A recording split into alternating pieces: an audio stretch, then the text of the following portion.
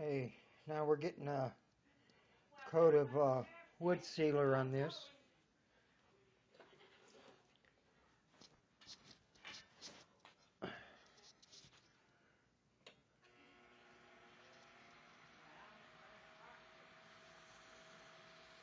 After the denatured alcohol, use denatured alcohol because it has very little water in it, so it doesn't raise the grain.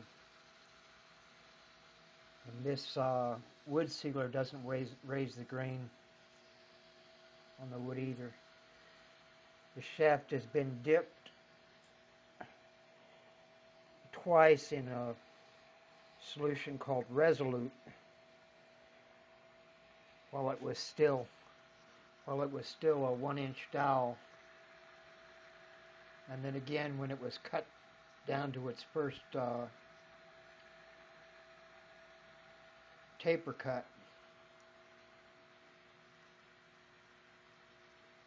And by the time it got turned down to final size, which is now, today, uh, all the all, all the, the wood has moved enough so that the, any warp that was in the wood has been turned out. Now we just uh, let that dry and we're going to apply another sealer coat. And then we'll get to putting the uh, shaft collar on. And then the insert and then finally the ferrule and tip.